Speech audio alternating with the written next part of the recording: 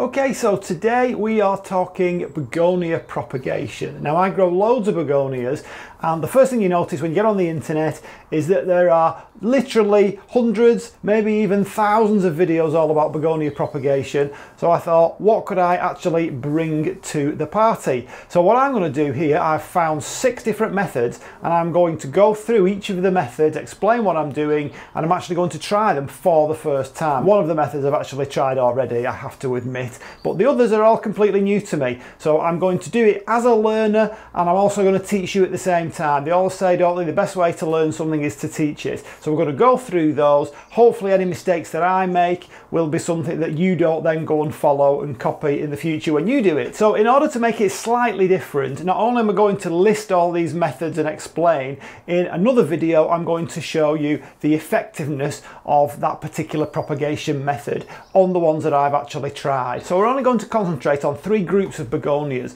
So they are the Rex group, the Cane group and the small rhizomatous group because those are the three groups that tend to be used for houseplants. So let's jump in. And we are in. Okay, so I've made a little chart here just so that you can see the various methods. I'm probably not going to fill all the boxes in here. In my second video, I'll talk through the results, but it is helpful just to have a look at how I've split this up. So down the left hand side, we've got the various methods of which I've given a name to each, so more on that later. And along the top, you can see the different plants that I'm going to use and the grouping. So we've got Silver Lace, which is Rex, Griffon and Listada, which are both cane varieties, the Silver Jewel, which is a Rhizomatous, and also Begonia boweri, which is also Rhizomatous. So just before I show you the methods, for purposes of clarity, I have used some different names for these different propagation methods. Some of the names are already out there on the internet, some I've just made up, just so that we know what we're talking about rather than saying method one, method two, and so on. I would use a media, and this is just an example, you can use other medias of course. I would use a media of peat moss or peat substitute and perlite 50-50.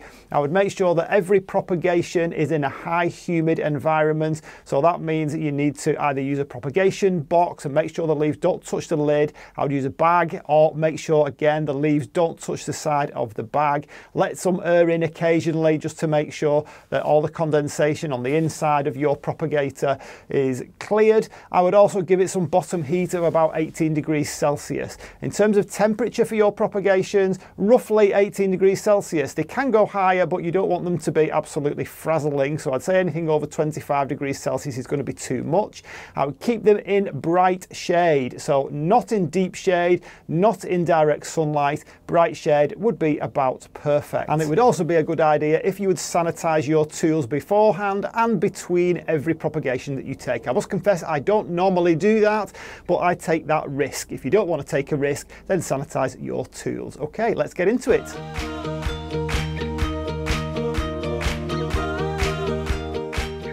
Okay, I've already put my media in. I've got five pots and I've got five leaves from plants, so a couple more from this small one here. And this does demonstrate actually over here with this very small one, this is Begonia boweri, how this particular cone method probably isn't the one to use for this. It's more likely to be the small rhizomatous method. So for our method number one, this is the cone method and this is Begonia silver lace. So I've just cut a leaf off there and all I'm going to do is remove the center. So I'm going to cut around there. I'm going to expose those veins. And I don't need to do it with anything fancy. I just simply cut and tear right the way along the centre like that. And you'll see what we'll be left with is a cone. Now we're not going to discard that bit because that's going to come in handy later on. And there is our cone. And that is simply going to be pressed in the soil into the media like that. So that's going to go in like that. And all I need to do is just kind of move the media up so that it's in contact there. So what you're actually doing there is exposing those veins. You can see on this one, these main veins on the leaf, you're exposing them to the media. And that is the cone method as simple as that. So what I will do with this cone method is do exactly the same with these other plants now. So this one is Begonia griffon. Cut into segments already, which is actually one of the other methods. It's just kind of split itself into segments. There we go. So we'll make sure that that is all nice there. And we've got the Listada here.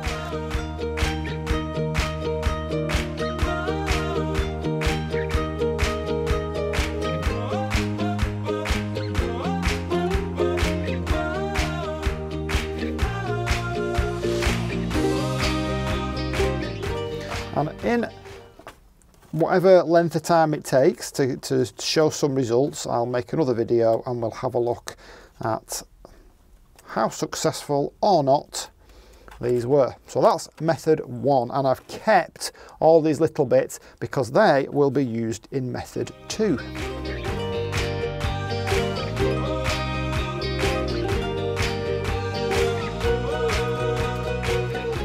Right, for method two, this is called the leaf method, a leaf cutting method, oh, that's what I'm giving it a name of. So basically what you do is the bit that was left, and you don't want that to be too long.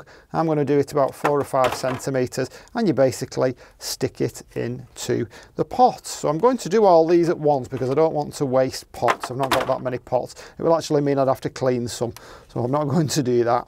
So there's two, got one more there, stick that one in, that's Listada. And then we've got Silver Jewel, I think that one's probably about the right size. And then these tiny, tiny ones from Begonia Boweri, which I really don't think will work, but you know, why not give it a go? I think that one will definitely be the splitting of the rhizome method. So I'm going to do two there just to be Again, a little non-scientific. So there's cuttings two, that's the second method, the ones that I'm calling leaf cuttings, and we'll move on to method number three. Okay, for the next method, we're down on the floor. So we're looking at this Begonia listada. Now this method more closely resembles your traditional stem tip cuttings, where you would normally cut just below a, a leaf node. So here, I'm going to cut just below a leaf node, as it happens, and I can't really show you right close up what I'm doing, but it's just it's just an ordinary stem. I'll try and show it. Just an ordinary stem. It's the end point of the new growth. This is a cane type begonia, so I'm just going to snip it off. It does look like it might be a, rhizome, a rhizome, a rhizomatous one, but it's not.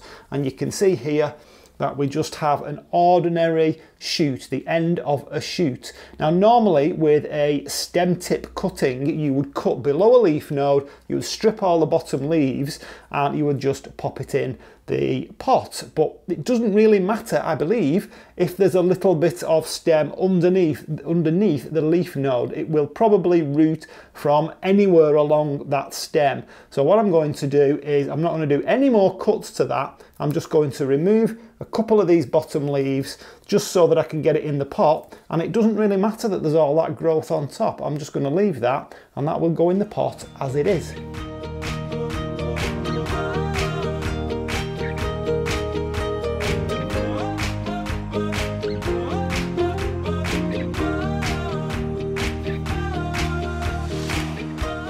So for method number three, I've only actually managed to find two growing tips that would satisfy the criteria for a stem tip cutting. So you can see I've cut below a leaf node, but there is still a little bit of stem on. And the same with that, we don't need to worry about that. This one is a kind of all tangled up there, so I don't know how that's gonna do, but I've not reduced all the leaves. Normally I would. I'm just gonna see what happens. This is the way the method was shown to me, so let's see if it works. So I always put them at the side of the pot.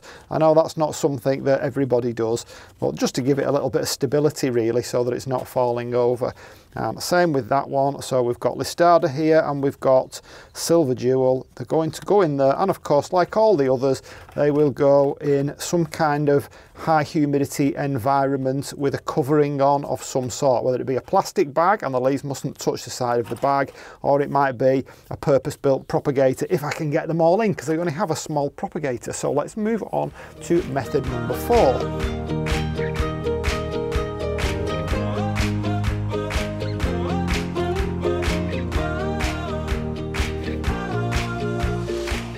Okay, method number four is the same as method number one, where you cut it into a cone, but this time you actually separate them out and call them wedges. So the only difference here is that this isn't all joined together in a cone. So they would then go into the media with the vein pointing downwards into or in contact with the media. So I'm not actually going to call this number four. This really is the same as number one, just a slight different uh, alternative to it really, uh, just a, another way. I thought it'd be worth showing you that, but I'm not going to count that in the six. And I'm only going to do it with Griffon because I don't really think that's a different method. It's just a, a slightly different interpretation of the same method. So we'll move on to the real method number four for the rest of them. And I'll pop these up as I've just explained. Okay, for the next method, we'll call this the flat leaf method. We're going to cut off the main stalk, the petiole of the leaf.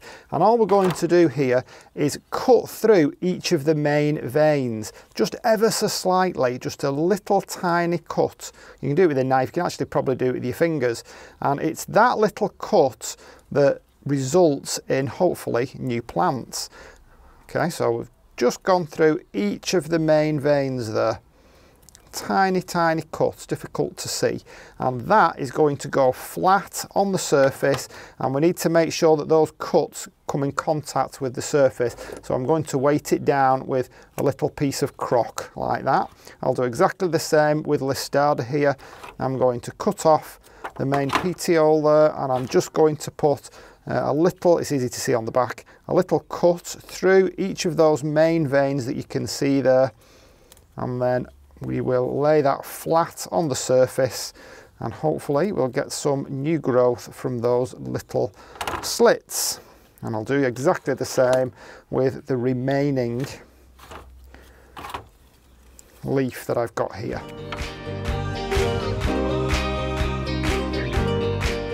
So number five is the easiest of the lot. This is simply cut a leaf off with the petiole here, the stalk here. I've cut out the side because as you saw I used that earlier on. I've cut out the edges there. It doesn't really matter. You can do it like that or you can leave the whole leaf on and you simply stick it in some water. So I'm going to do that with some of the others and see if they develop roots. It's very easy to do and I'm sure that you've all done this kind of method many, many times before with various things. So I'll do that. You don't need to see that. I'll go and do that in the background and we'll move on to the final method. So for my final method, this is the small rhizomatous group and it's just as it sounds really. You're going to locate a rhizome and you can see one there traveling along in that direction and I'm simply going to cut it off.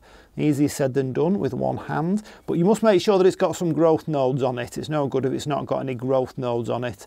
So I'm going to cut that off straight down and I'll probably have to, there we go. I've managed to do it with one hand, fantastic. And we'll take that off and we'll go and deal with that over on the bench. So what I'm going to do here is remove some of these leaves and the, the idea is that you just simply push it down into the compost. So that it's already got some nice growth on it. Or there's some flowers coming there so I'll cut them off. Just pull those off. And that is simply going to go there on the compost and I simply push it in and cover it over a little bit. And that's how you deal with small rhizomatous begonias. So I'm going to go and do that with one of my other small rhizomatous begonias. I'll put it there and then we're all set. So there you can see all my begonia propagations. Now, I've not been able to do as many as I thought, simply because the plants in some cases just aren't big enough and I don't want to, to completely ruin all my plants and take all the growth points off them. I think you get the idea. So I've shown you six there, possibly seven if you count the one where you make a cone like this one here and but then you cut it into wedges like I've done there with the Griffon. But really that's to me that's the same thing. If I get some plants off that and some plants off that that will be fantastic. But if I get some off there and none off there or vice versa then maybe it'll show you that one's better than the other. So it's worth doing in that sense. I've also got to put a couple more into the water just to see what happens there. Again I'm not really a big fan of water propagation. I know a lot of people absolutely absolutely love doing that. Um, I will have a go, see if I can find any more leaves without completely destroying my plants. I've also done the Begonia boweri down there, that's the rhizomatous one. I had a look at my other rhizomatous one, the Silver Jewel, but it's just not big enough to take any more rhizome off it. Well, hopefully, when it comes round to having another look at these, these will now go into the propagator if I can fit them in, or they will certainly be in a high humidity environment. I'll give them all a water. I'm going to cover them as best I can I've got a couple of uh, containers that they can go in if I can fit them in. I will put them in plastic bags. And even if they're not in any of those things, the hothouse where I'm going to keep them is a highly humid environment. It's very rarely under 70% anyway. Uh, so we'll see what we can do. You know, this is this is reality, isn't it? This is what happens. You can't always do it exactly as people show you. So it'll be really interesting to see what happens and see how effective some of these methods are. Maybe they'll all work, maybe some of them will work and some of them won't. So what I'm hoping you'll do, if you've used any of these methods, please tell me in the comments of your experiences. If I've missed a method out, again, tell me in the comments of your experiences.